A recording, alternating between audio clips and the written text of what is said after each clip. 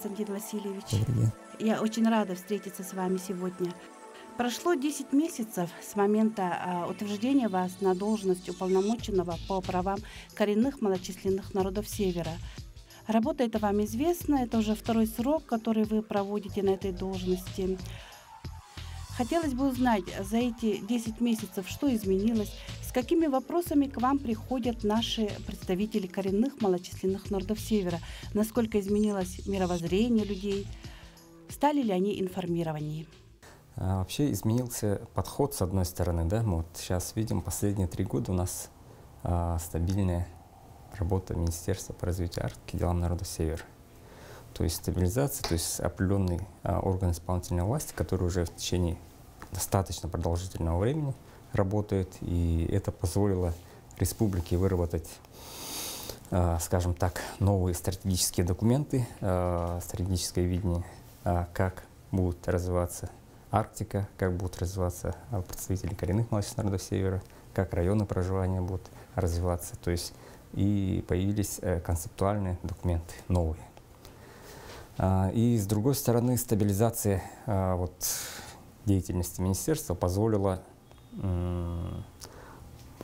усилить работу по уже существующему нормативно-правовому э, законодательству. То есть тоже, тот же закон по этнологической экспертизе, который раньше, э, можно сказать, хромал на обе ноги, да? То есть было всего несколько экспертиз проведено. Сейчас за последние три года, э, каждый год мы видим кратное увеличение. То есть в два, в три раза. То есть постоянно увеличивается число технологических экспертиз. А, и помимо этого, а, что касается обращений да, и так далее, мы сейчас видим, что очень сильна становится роль а, социальных сетей, мессенджеров.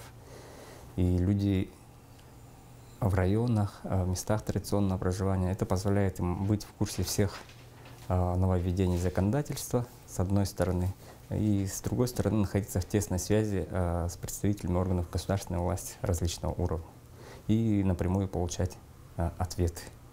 Поэтому, безусловно, люди стали, с одной стороны, активнее, с другой более э, подкованные в вопросах законодательства.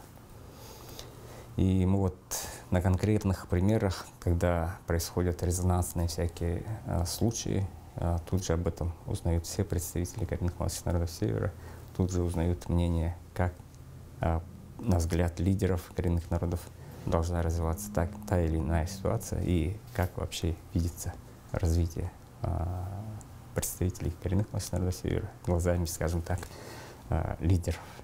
То есть в каком направлении видят эту ситуацию. При этом они сам, сами активно участвуют в обсуждении различных вопросов. Ваша работа связана также и с российской нашей ассоциацией, министерством, с ФАДН. Как вы с ними взаимодействуете?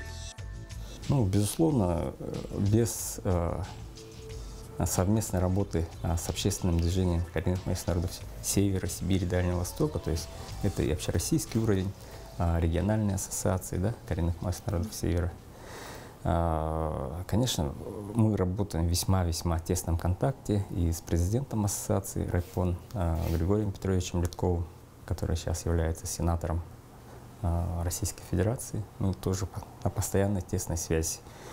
И что касается работы с ФАДЕН, ну, буквально с самого начала, можно сказать, мы как-то нашли небольшие мостики, и я стараюсь регулярно принимать участие, будь это посредством а, ВКС а, или личное участие в совещаниях, а, семинары совещания часто проводит Федеральное агентство по делам национальности, и где можно напрямую задавать вопросы и получать ответы или поддержку по решению тех или иных вопросов.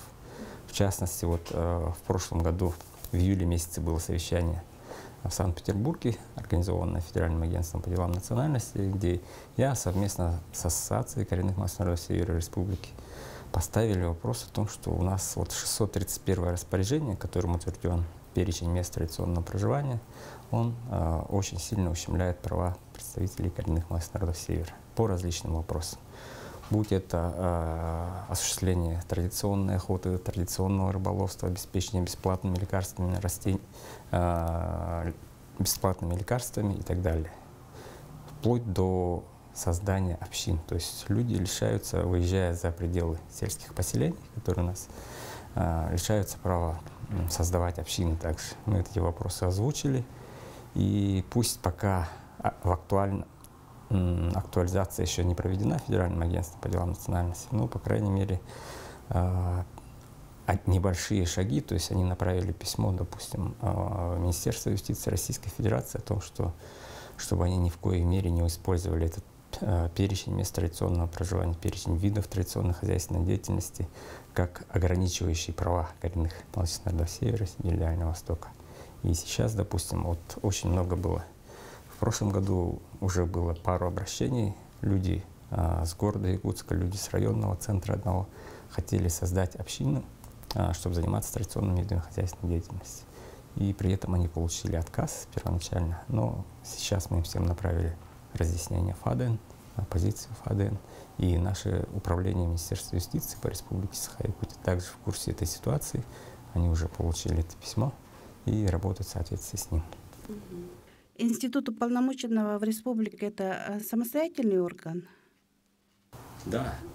Ну, в соответствии с законом мы являемся э, не подотчетными, не подконтрольными другим органам государственной власти.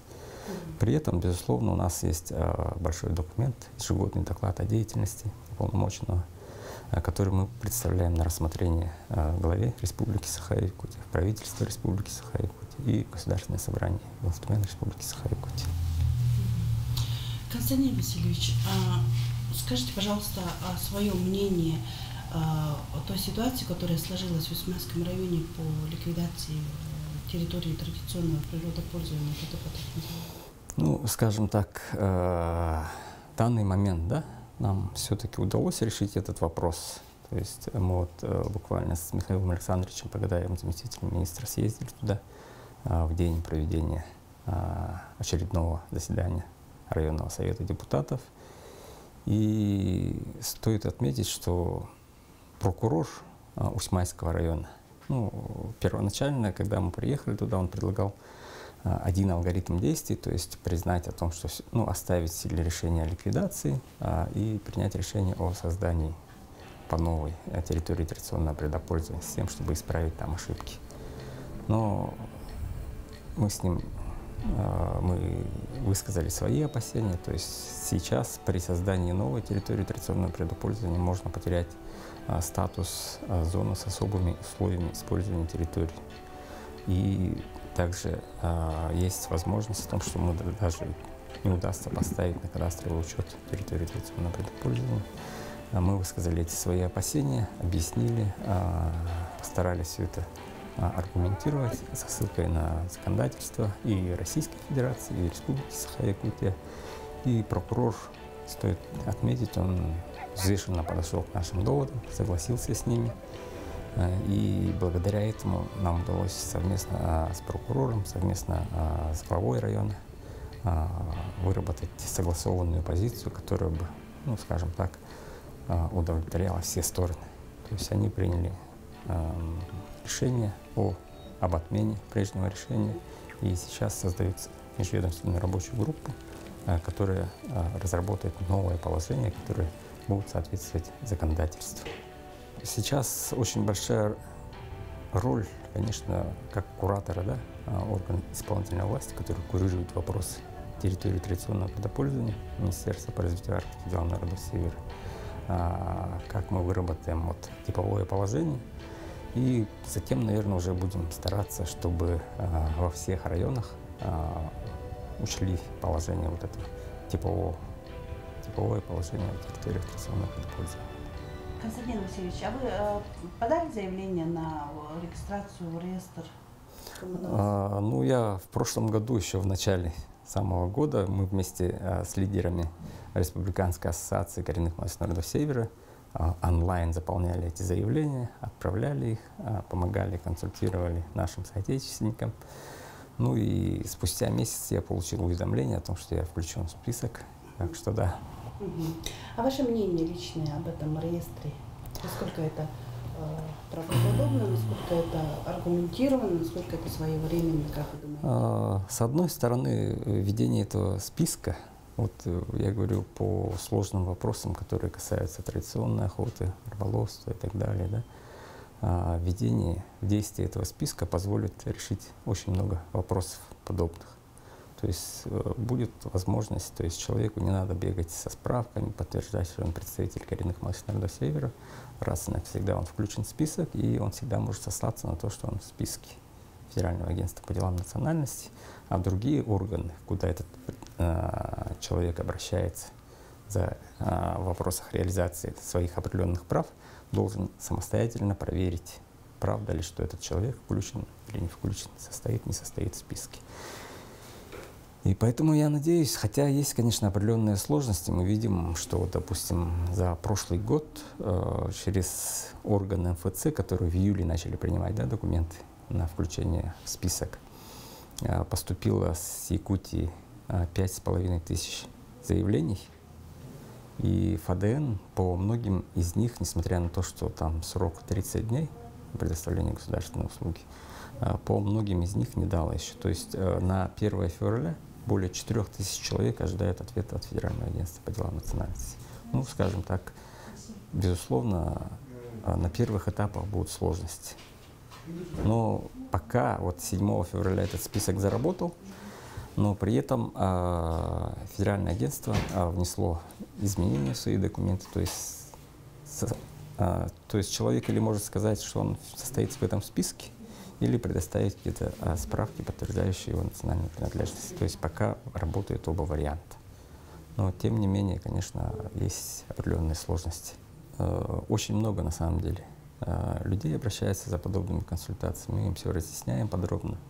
И при этом а, на всех встречах вот с населением, когда я выезжаю в район и так далее, а, всем людям, которые ко мне приходят на прием, я стараюсь убедить их всех заблаговременно подать заявление для включения в список с тем, чтобы у них в будущем была возможность реализовать те или иные установленные права. Э, в этом году общественность отмечает юбилей вашего отца, Василия Афанасьевича Робика, 85 лет. Очень большие и крупные мероприятия э, намечаются, проходят уже. Для вас образ отца что значит? Насколько вы часто мысленно э, к нему обращаетесь за советом, ну, думаете о нем? Понимаете, вот ну, с тех самых пор, как его не стало, я вот все время сожалею о том, что о многом я не успел с ним переговорить, посоветоваться по тем или иным вопросам, потому что у него был свой особый своеобразный взгляд, то есть и на развитие народов Севера, и, на развитие науки, и на развитие языков, то есть по всем вопросам у него было свое отличное от многих э, видение ситуации. Поэтому мне, конечно, очень плохо то, что я не успел, на мой взгляд, а, перенять хотя бы чуть больше опыта еще. Да, мысленно часто с ним Да, да. А, я порой, когда возникают такие ситуации, я вот думаю, а как бы он так поступил в той или иной ситуации? Потому что разные сложные моменты бывают. Даже во время командировок в районах или когда людей принимают, да, то есть сложные вопросы поступают. И я думаю, вот как бы вышел из этой ситуации мой отец. Это бывает очень часто, конечно. Как часто вы ездите в Среднеколымский район? В Среднеколымский район я в прошлом году ездил, а учитывая, что в этом году они проводят большие мероприятия, посвященные юбилею моего отца, то, конечно, безусловно, у меня запланирована командировка еще. В прошлый раз на юбилей, когда мы ездили, такое приятное ощущение было, что встречали нас, э, и мы замечали, как по-человечески любили Василия Афанасьевича, Марию Егоровну, э, и это душу грело все время, когда мы там были. Вот это ощущение, что приехали к родственникам, как будто э, бы было. У меня лично такое ощущение было. Во многих северных поездках, да, в северные районы, возникает такое ощущение, когда общаешься со старейшинами, а, общаешься а, с людьми близкими по духу тебе, то очень часто возникает, конечно, потому что северное гостеприимство еще, да, то есть широта души их, это совершенно другое. А фамилия Рубик вам помогает в жизни? Были моменты прямо противоположные, скажем так. Потому что, ну, отец тоже был человек со своим мнением, а, и не всем он нравился, скажем так. Поэтому иногда это работало и в обратную сторону. Хотя, безусловно, я встречал больше людей, которые его знали, уважали. И при этом, конечно, они отмечали, что, а, что будут поддерживать в любом начинании. А история о фамилии Рубик? Это э, во времена еще, в царские времена, э, тогда, ну, скажем так, на регулярной основе были экспедиции, да, то есть э, север, понятно, что мы э, неизученная территория была для царского режима, и они отправляли э, экспедиции. И вот в составе одной из экспедиций был э, доктор э, Михаил Роббик. И вот, ну, я так полагаю, что именно а, с его именем связано. То есть, может, возможно, он кого-то вылечил, да, и поэтому они переняли его фамилию. Возможно, он женился там и оставил.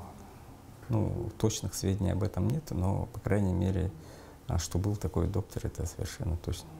То есть это с, архи- с архивных данных, ну да, скандинавские корни. Мы помним, что при царе, начиная а, с Петра Первого, а, очень много было советников, помощников а, с зарубежных стран, то есть Голландия, Швеция, Норвегия и так далее. Константин Васильевич, удается ли вам а, заниматься научной деятельностью, писать статьи, может быть, а, кандидатскую, докторскую? Не задумывались? Я задумывался над этим, пока э, просто физически не хватает времени. Хотя это может быть вопрос самоорганизации – ну, я уже задумывался над этим, разговаривал с известными учеными о том, что я мог бы на, в их учреждениях, соответственно, защитить кандидатскую диссертацию. При этом, конечно, многие отмечают ну, тот факт, что вот эти ежегодные доклады, которые мы каждый год представляем, практически сами по себе являются ну, научными. научными трудами. Да. И очень часто я вот вижу в трудах ученых и так далее, то есть те мысли, те формулировки, которые заложены в наших ежегодных докладах. То есть пользуются? Да. Какие главные жизненные ценности у вас сегодня на первом плане? Ну, сейчас главное здоровье близких, родных, друзей, товарищей. Если будут все здоровы, будем и работать. А, надеюсь, и плодотворно будем работать. И вы очень интеллигентный, спокойный, уравновешенный, мужественный человек. Как вы детей своих воспитываете? Ну, тут больше лично, наверное, примером, потому что как бы э, говорить, э, что-то им указывать, сейчас новое поколение, э, ну, вероятно, это было и раньше, да, то есть каждое новое поколение, но я считаю и надеюсь, что оно немножко другое, да? И мы знаем, что про конфликт отцов и детей, да, это еще с давних пор говорится. При, поэтому ни в коем случае не авторитарный. То есть, конечно, мы направляем их, то есть пытаемся сделать акценты на тех или иных вопросах, но при этом без авторитарного. То есть своим примером где-то подаем, показываем, как надо поступать, а, куда надо стремиться и так далее. Самый э, лучший отдых э, для вас от суеты, от э, работы? Это с семьей, с друзьями, э, выбраться куда-то на природу. Да, то есть мы э, постоянно ищем возможности. Э, в пределах нашей родной Якутии очень много э, красивейших мест, э, куда можно и в короткие поездки съездить, и длинные достаточно. И у нас были уже подобные опыты очень много. Мы уже и на этот год обсуждали с друзьями, товарищами, куда, какие районы мы могли бы съездить. Такое понятие, как э, зов крови, для вас э, имеет какое-то значение? Смотря как э, его воспринимать. Потому что зов крови люди думают каждый по-своему, да. То есть для кого-то важно там поохотиться, для кого-то порыбачить, для кого-то просто там э, насладиться видами природы и так далее. И каждый закладывает свой определенный смысл. А так, безусловно, конечно, я ощущаю то, что я а, северянин, а, то, что я представитель коренных масс народов Севера. Все это, ну, как бы, есть четкое понимание не только в голове, но и в сердце. Вено-Батантайский район национальный для вас также является второй родиной, потому что это родина вашей мамы, Марии Егоровны. Какие у вас связи сегодня с Вено-Батантайским районом? Как часто вы туда ездите? Пока э, с прошлого года не получилось туда выехать, но тем не менее, э, конечно, с родственницами по линии матери я через э, социальные мессенджеры и так далее поддерживаю контакт. И при этом надо отметить, что мы понимаем, что и раньше, да, и сейчас достаточно сложно было поддерживать контакт, то есть съездить туда там. Я неоднократно там был, но уже а, будучи весьма зрелом возрасте, я был приятно удивлен, то, что люди помнят, знают мою мать. И очень много родственников новых открыл родственников и так далее. Поэтому, конечно, это вторая родина, можно сказать. Очень гордятся Мария Егоровна на родине. Что вас, вам не нравится в поведении людей, может быть, или ну, в людях? Какие черты? Какие ну, больше, наверное, все-таки э, есть... Вот сейчас говорят, да, очень часто можно услышать наглость второй счастья. Вот, ну, я не люблю это. Ни слова, ни людей, соответствующее поведение. А все остальное можно простить. Можно простить недостаток ума, можно простить недостаток а, того всего. А дерево вы посадили? Ой, я несколько деревьев а, сажал уже. А, не знаю, как судьба сложилась, но очень хочется надеяться, что хоть а, одно-то из них. Но при этом сейчас мы планируем как бы а, на дачном участке Сейчас обдумываем вопрос, как а, провести, ну, как сейчас говорят, ландшафтный дизайн. То есть, соответственно, мы еще будем деревья сажать у себя уже на участке под присмотром. Это и тому, что вы дом построили, сына родили, и, видимо, деревьев много посадили. Ну, деревьев немало посадил, да. Хорошо. Если бы вам сейчас э, предложили, э, скажем, должность или э, такое вот теплое место, как бы вы к этому отнеслись? Или больше денег, но Нет. в то же время оторванность вот, от. Когда я уходил из должности уполномоченного, э, было немало а, предложений со стороны промышленных компаний. То есть на хорошее теплое место, а, с хорошей зарплатой, но при этом а, это была бы работа, скажем так, ну, в плюс, безусловно, промышленным компаниям. Они получили человека, который многие вопросы во взаимоотношениях с коренными снял бы, да, но с другой стороны, это получалось бы, что я работаю на промышленников. То есть, с другой стороны, я понимаю, что это в любом случае несет вред и экологии, и местам, где живут наши народы. Поэтому эта работа мне претила, и я туда не пошел. А в смысле, вот, допустим, после этого я работал в Министерстве Арктики, где работают близкие по духу люди, да, и я себя чувствовал там важной нужность этой необходимости этой работы, и всецело ей отдавался. То есть для вас главное — это ваши принципы? Ну, как бы да, и внутреннее противоречие, чтобы не вступала работа с моими взглядами и убеждениями.